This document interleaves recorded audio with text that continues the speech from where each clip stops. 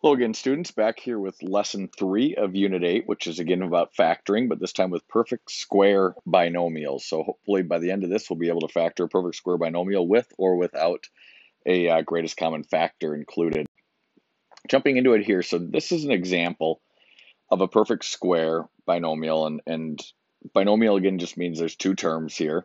Okay, obviously you see that there's really a 1x squared minus 36, and what makes it a perfect square binomial is 1 is a perfect square because the square root of 1 is 1. 36 is a perfect square because the square root of 36 is 6. So um, naturally 6 squared is 36 or 1 squared is 1. That's the idea of being a perfect square.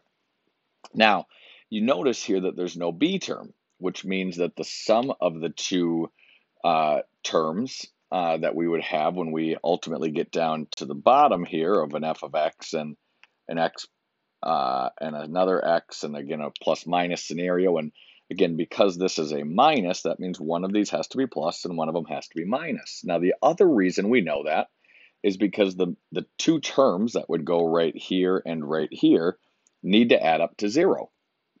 And so what we think about is, okay, what two terms add up to zero and are factors of the, the, the value of 36, which again is the c, and again, the idea with the c is you have to multiply to be the c value. Well, when we look at the factors of 36, you've got 1 and 36, you've got 2 and 18, you've got 3 and 12, um, you've got 4 and 9, and you've got 6 and 6. Well, this is a standout here because, again, if we have to have a positive and have to have a negative, then to have an x plus 6 and an x minus 6, they would add up to 0 um, but would multiply to be negative 36. And so this is kind of the the general routine that you'll see in these perfect square binomials is they're not going to have this b term, okay, that single x term, because that will always zero out. And the reason it's going to zero out is because we're going to have basically a positive and negative version of whatever the square root of c is. Um, in this case, the square root of 36 is 6. So we have a positive 6 and a negative 6 and that then would be the result.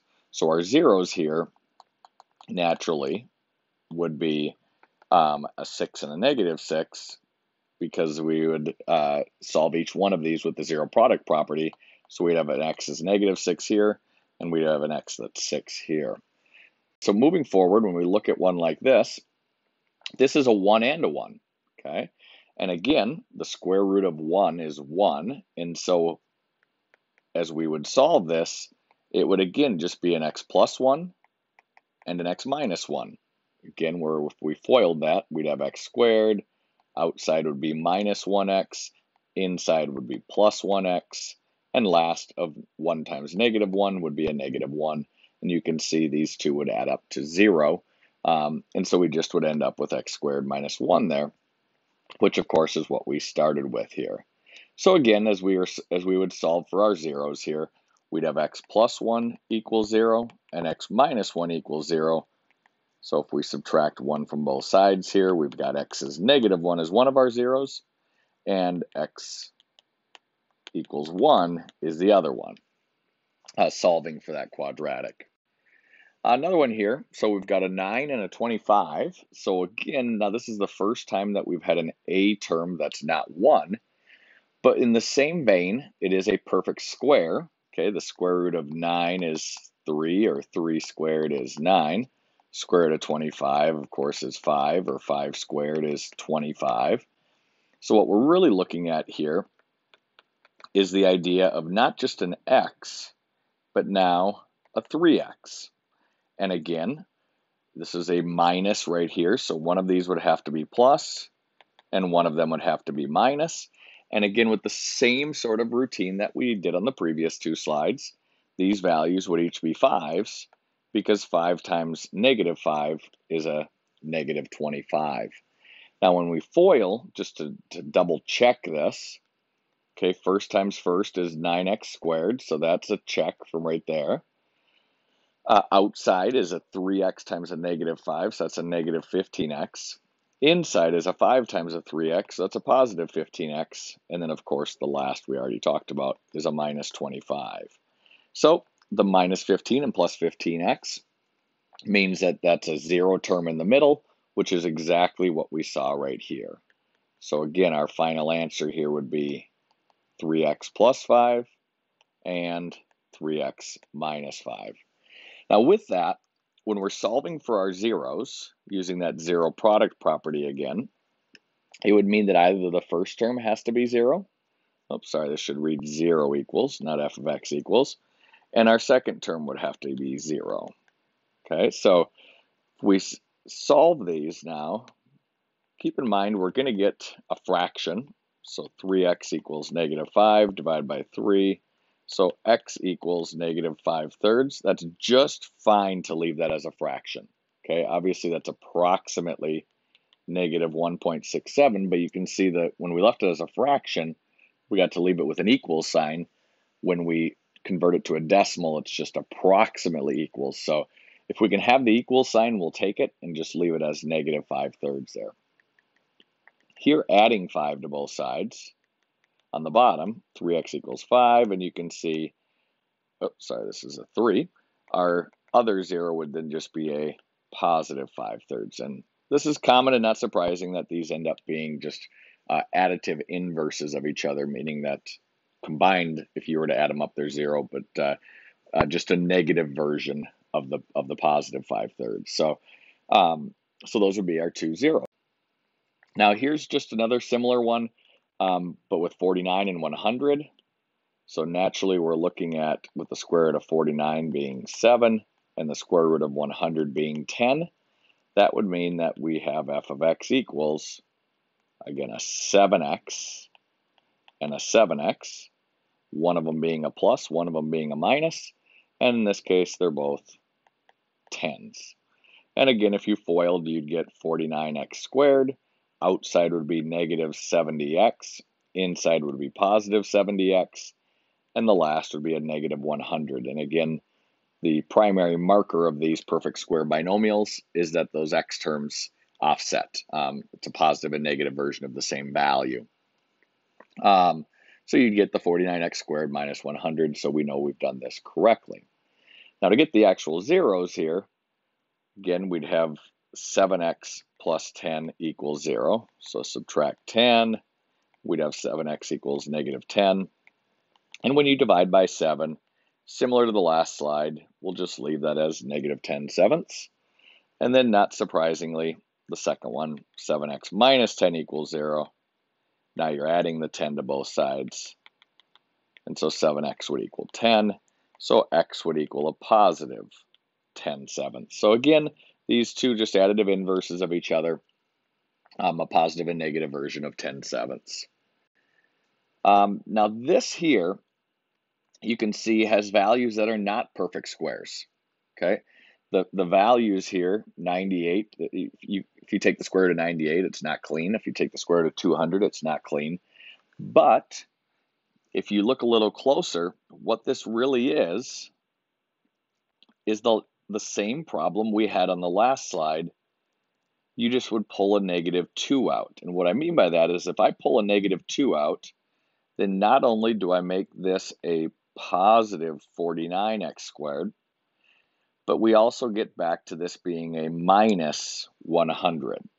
Okay, because negative 2 times a negative 100 gets us back to that plus 200. So now we're back in that same format that we like to see in these perfect square binomials, which is a positive perfect square as the A term and a negative perfect square as the C term.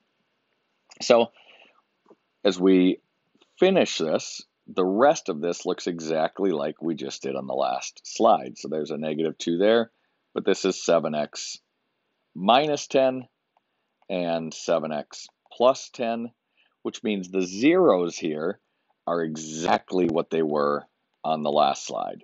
Okay, you can see factoring out or having that negative 2 that got factored out right away did not change anything about our zeros. So uh, x is still 10 sevenths or negative 10 sevenths, just as we saw on the last slide. Okay, and again, it had one more step here of of getting this um, negative 2 factored out up front. but everything else after that was exactly the same. And then we just always remember to keep that negative 2 in front if we were to write that full equation again at some point, um, even though we didn't utilize it over here at all. Um, that negative 2 is still every bit a part of the equation um, because the original function was negative 90. Okay, moving. So here's just another example. Um, we'll just factor on this one uh, where again the a term is 32, which is not a perfect square. The c term is 50, which is not a perfect square.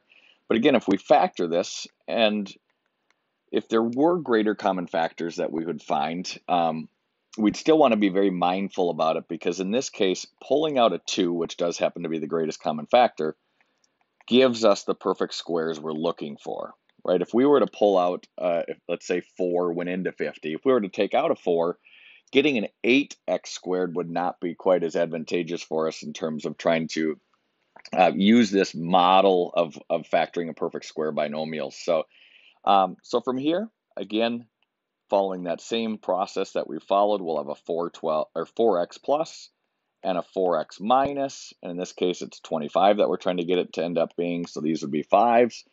And so again, the middle terms would be a negative 20x and a 20x and the and so they would offset and we'd have a 16x squared and a 25 uh, minus 25 and then we still have this 2 out here which again is still every part of the equation. It's just not going to be part of finding our zeros. So finding our zeros which we won't actually solve here um, would still be each of these equal to zero and we'd end up with 5 fourths and negative 5 fourths. Um, as we as we solve for those using the zero product property uh, and finally here just one more um, what you see here is, again, a little bit of an issue where 3 is not a perfect square and neither is 75. But again, we can find a factor that works here. And the only reason I've added this one in here is because it's not just a 2 or a negative 2 to take out of here. Um, in order to get this a term, with the a being the 3, in order to get that to a perfect square, we'd we would need to get that down to a 1. So in order to do that, we'd have to pull out a 3. Well, if we pull out a 3, then this becomes a 25. Um, since 3 times x squared is 3x squared, and 3 times the negative 25 would be a negative 75. That would work for us. And so when we factor this, we still would have that 3 out front. We'd have an x plus and an x minus. Again, there's nothing in front of the x's this time because it's just x squared, not 4x squared or 9x squared or anything like that.